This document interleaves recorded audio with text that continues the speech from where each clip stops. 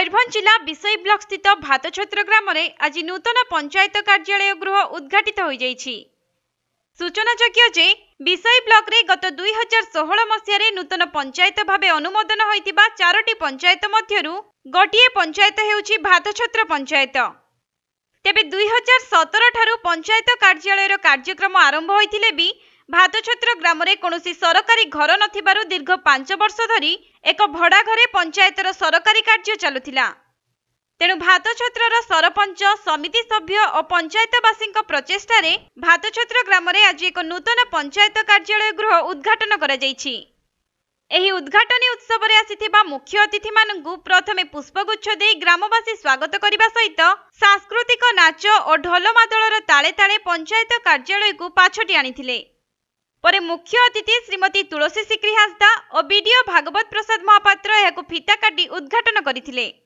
ଏହି ଅବସରରେ ସମ୍ମାନିତ ଅତିଥି ଭାବେ ବିଷଇ ବ୍ଲକ ଉପାଧ୍ୟକ୍ଷ ଚନ୍ଦ୍ରମୋହନ ଗିରି ଜିଲ୍ଲା ପରିଷଦ ଶୀତଲ କିସ୍କୁ ସରପଞ୍ଚ ବୁଧୁରାମ ହାଁସଦା ଅସନା ପଞ୍ଚାୟତର ସମିତି ସଭ୍ୟା ଗୀତାଞ୍ଜଳି ଗିରି ଅନିଲ କୁମାର ନନ୍ଦ ବରିଷ୍ଠ ସମାଜସେବୀ ଗିରିଧାରୀ ନାୟକ ରମାକାନ୍ତ ଗିରି ଓ ପଞ୍ଚାନନ ନନ୍ଦଙ୍କ ସମେତ ବହୁ ଅଞ୍ଚଳବାସୀ ଉପସ୍ଥିତ ରହିଥିଲେ।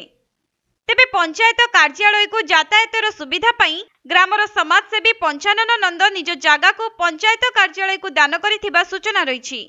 ଆଜି ଆମେ ଏଠାରେ ଭାତଛତର ପଞ୍ଚାୟତର ଉଦ୍ଘାଟନ କରାଯାଇଛି। ଏଥିରେ ଆମର ଦୁଇ ହଜାର ସତରରୁ ଆମର ଯୋଉ ପ୍ରୟାସ ଥିଲା ଆମେ ଗୋଟେ ଭାତଛତର ପଞ୍ଚାୟତକୁ ଗୋଟେ ସୁରୁଖୁରୁରେ କାମ କରିବା ପାଇଁ।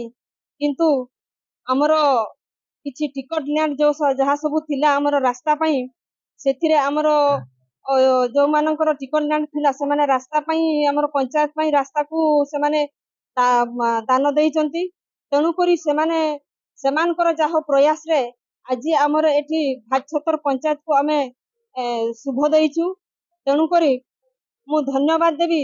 ଯୋଉମାନେ ବି ଆଜି ପଞ୍ଚାୟତର ଉନ୍ନତିକରଣ ପାଇଁ ଚାହିଁଛନ୍ତି ବା ପଞ୍ଚାୟତର ଉନ୍ନତିକରଣ ପାଇଁ ଆଶା ଥିଲା ସେଥିପାଇଁ ଆଜି ସମସ୍ତଙ୍କୁ ମୁଁ ଧନ୍ୟବାଦ ଦେବି। ଯୋଉମାନେ କି ଆଜି ପଞ୍ଚାୟତର ଉନ୍ନତି ପାଇଁ ଆଜି ସେମାନେ ଗୋଟେ ଆଶାରେ ପହଞ୍ଚେଇ ପାରିଛନ୍ତି। ତେଣୁ ଆଜି ଆମେ ଏହି ଭାତଛତର ପଞ୍ଚାୟତକୁ ଏଠାରେ ଆମେ ଶୁଭ ଦେଇକି ଉଦ୍ଘାଟନ କରାଗଲା। ଏଠାରେ ସମସ୍ତ ଆମର ବୁଦ୍ଧିଜୀବୀ ସମସ୍ତେ ଜନସାଧାରଣ ଭାତଛତର ପଞ୍ଚାୟତର ସରପଞ୍ଚ ପିଏସ୍ ସମସ୍ତେ ଯାହାକି ଆମର ଭାଇସ୍ ଚେୟାରମ୍ୟାନ ଏଥିରେ ଥିଲେ ଆମର ମୁଖ୍ୟ ଆମର କର୍ମକର୍ତ୍ତା ଯାହାକି ଏଇ ପଞ୍ଚାୟତକୁ ଆମେ ଏଇ ଆଜି ଉଦ୍ଘାଟନ କରିପାରିଛେ। ତେଣୁକରି ମୁଁ ସମସ୍ତଙ୍କୁ ଧନ୍ୟବାଦ ଦେବି ଯୋଉମାନେ ଆଜି ଏହି ପଞ୍ଚାୟତରେ ଯୋଗଦାନ ଦେଇଥିଲେ।